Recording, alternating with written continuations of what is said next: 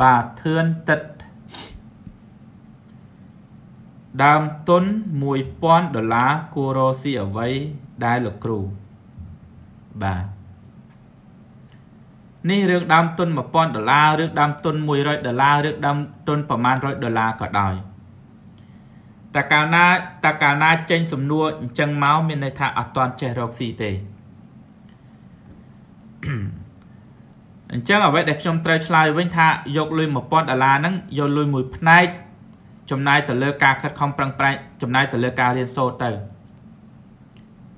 អាចដក100ដុល្លារ200ដុល្លារ300ដុល្លារឬក៏ពាក់កណ្ដាលទៅរៀនសូត្រទៅឬក៏អាចនឹងសិក្សារៀនសូត្រតាមអនឡាញណាមួយដែលមិនអស់លុយក៏បានដោយទុកលុយនឹងធនាគារសិនទៅណា ដល់ទៅពេលរៀនចេះដឹងហើយចាំយកលុយនឹងមកមករកស៊ីមករកស៊ីតាមរយៈអីមករកស៊ីតាមរយៈទិញទ្រព្យយើងអាចទិញពាក្យហ៊ុនយើងអាចទិញគោទិញគោចិញ្ចឹមយើងអាចទិញដី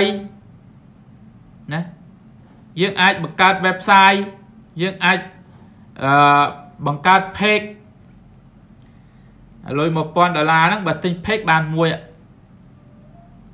អា page បានមួយហ្នឹងយើងអាចរកស៊ីលក់អនឡាញក៏បានប៉ុន្តែបើសិនយើងយកលុយនេះទៅរកស៊ីភ្លាមភ្លាមដោយយើងមិនទាន់មានចំណេះដឹងឧទាហរណ៍មួយចំណេះដឹងទីផ្សារយើងអត់ទាន់មានចំណេះដឹងទីផ្សារយើងយកលុយ1000ដុល្លារយកទៅទិញផលិតផលយកមកលក់យើងអត់ដឹងវិធីសាស្ត្រលក់យើងអត់ដឹងថា លក់ហ្នឹងគេធ្វើម៉េចច្បាស់ជាបរាជ័យហើយឥឡូវនេះរៀនសិនហើយចាំយកចាំយកចំណេះដឹងហ្នឹងទៅអត់ចាំយកលុយហ្នឹងទៅទិញផលិតផលយកមកលក់ទៅឧទាហរណ៍មួយទូចចុះ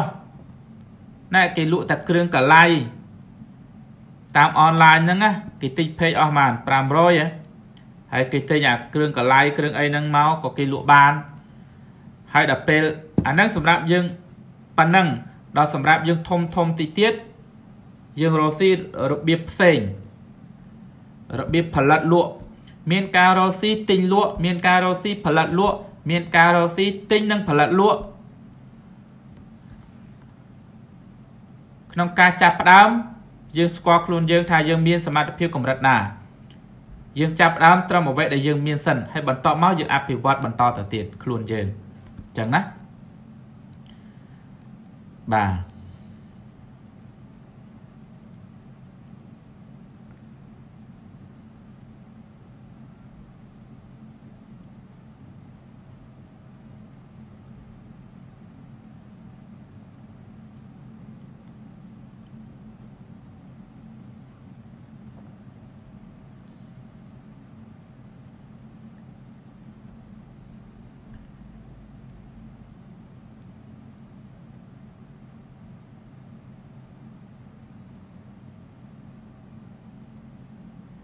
ចង់ឲ្យលោកគ្រូបង្រៀនវិជ្ជាឲ្យអស់ពីខ្លួន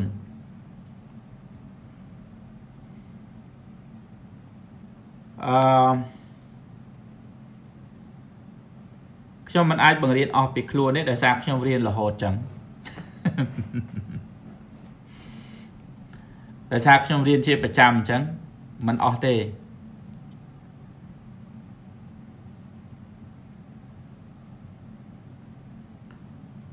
បាទតិនភាធិលហេតុអ្វីខ្ញុំអត់លុយហេតុអ្វីពេលខ្ញុំអត់លុយមានអារម្មណ៍ថាមួម៉ៅ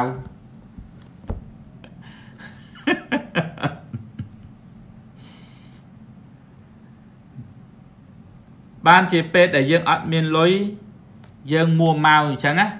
គឺដោយសារតែយើង មានត្រឹមតែលុយយើងអត់ធ្លាប់មានប្រភពលុយ បើយើងមានប្រភពលុយទោះជាយើងអត់មានលុយឬទោះជាយើងអស់លុយក៏យើងអត់មួម៉ៅដែរប្រភពលុយនោះគឺចំណេះដឹង ប្រភពលុយនោះគឺមុខរបរប្រភពលុយនោះគឺជាទ្រព្យប្រភពលុយនោះគឺជាធម្មពលនៃការស្រោបទាញដល់ទៅពេលយើងមួម៉ៅក្តៅកាហាយនៅពេលដែលយើងអត់លុយ តាមច្បាប់ស្រូបទាញមានន័យថាយើងកំពុងតែដេញបង្អើលលុយនឹងឲ្យទៅឆ្ងាយពីយើងហើយនៅពេលដែលយើងចេះគ្រប់គ្រងអនុសម្បញ្ញៈរបស់យើងគឺការគ្រប់គ្រងអារម្មណ៍របស់យើងចំពោះលុយមានលុយក៏អត់ស្រាបស្រាលត្រេកត្រអាលអត់លុយក៏អត់ស្រាបស្រាលភ័យខ្លាចចំពាក់អំណុលគេក៏អត់ព្រួយបារម្ភ លំនឹងនៃអារម្មណ៍ផ្លូវចិត្តយើងត្រូវតែមានដើម្បីយើងធ្វើការបង្កើតប្រភពលុយនិងស្រូបទាញលុយណាអញ្ចឹងដល់ពេលដែលយើងខ្វះខ្វះចំណេះដឹងនៃច្បាប់ស្រូបទាញនៃការបង្កើតប្រភពលុយក្នុងអនុសម្បញ្ញៈដល់ពេលយើងអស់លុយទៅយើងមួម៉ៅក្តៅកាហាយហើយ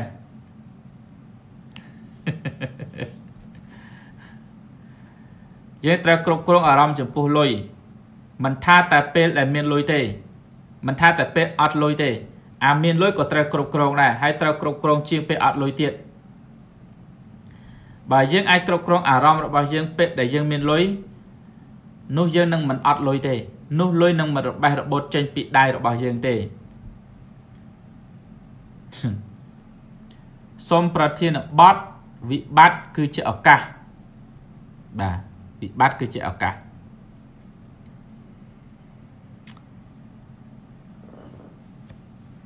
វិបត្តិគឺជាឱកាសវាខុសគ្នាបន្តិចត្រង់ថាបញ្ហាគឺជាឱកាសបញ្ហាគឺជាឱកាសឧទាហរណ៍ថាយើងអត់អាវទៅឆេះឆេះមួយដុំហ្នឹងអញ្ចឹង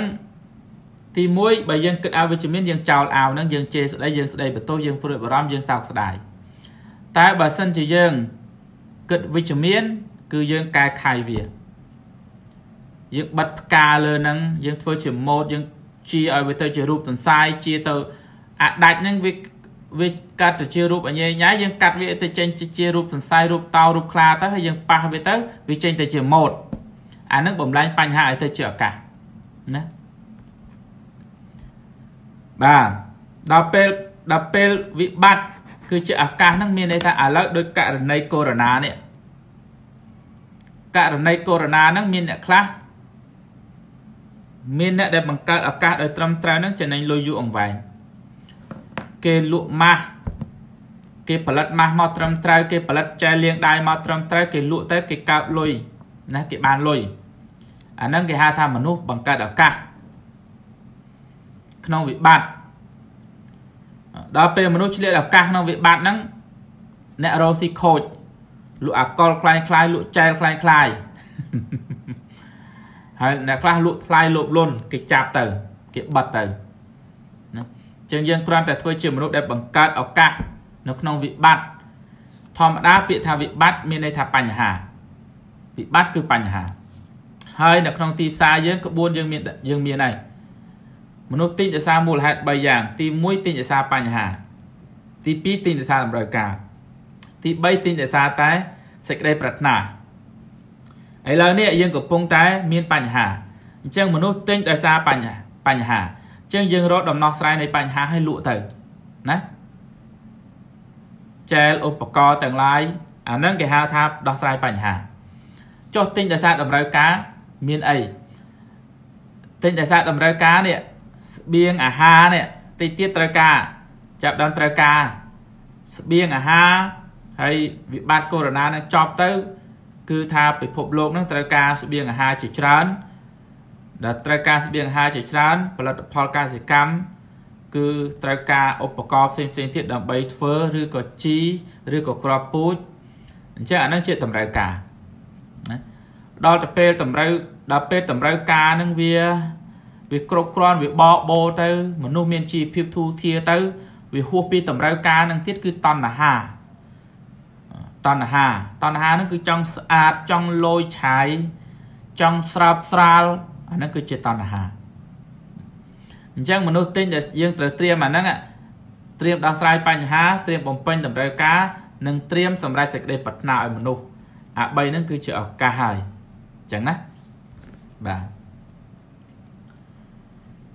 អូខេបាទឥឡូវនេះដោយសារខ្ញុំដល់ម៉ោងដល់ម៉ោងតែជាប់ហើយចឹងខ្ញុំជម្រាបលាបងប្អូនប៉ុណ្ណឹងសិនណាណាហើយនៅពេលណាដែលខ្ញុំ live ទៀតខ្ញុំនឹងជួនដំណឹងមុនខ្ញុំនឹងជួនដំណឹងជាមុនបាទជូនពរបងប្អូនទាំងអស់គ្នារួចផុតពីជំងឺ ហើយយើងនៅមួយកន្លែងឬក៏យើងនៅផ្ទះដើម្បីចូលរួមការពារវា ចូលរួមការពារខ្លួនយើងពីជំងឺបាទអញ្ចឹងឲ្យបងប្អូនទាំងអស់គ្នាមានសុខភាពល្អហើយធ្វើអ្វីដែលខ្លួនអាចធ្វើបាននៅក្នុងផ្ទះតាមអនឡាញដើម្បីបង្កើនប្រាក់ចំណូលរបស់យើងកុំឲ្យខាតពេលសម្រាប់ពេលវេលានេះគឺខ្ញុំសូមជម្រាបលាណាបាទបាយបាយទាំងអស់គ្នា